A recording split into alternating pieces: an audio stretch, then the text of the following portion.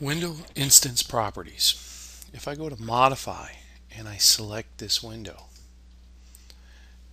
this window turns out to be a fixed 36 by 48 window. If I come down into instance properties, the instance properties are down here.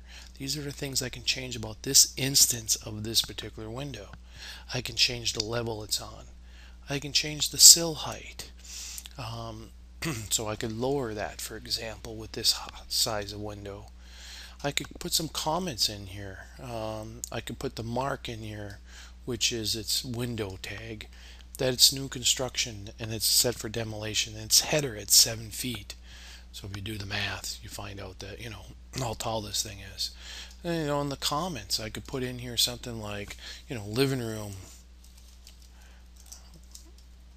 or living room uh, picture window or a living room west wall or something like that. And then I could apply that. And so that will show up in my window schedule when I create the window schedule. So these things are all about this particular window. These are called the instance parameters or instance properties. Um, and so we want to take a look at those uh, ones and make sure that we have everything that we have set for this particular window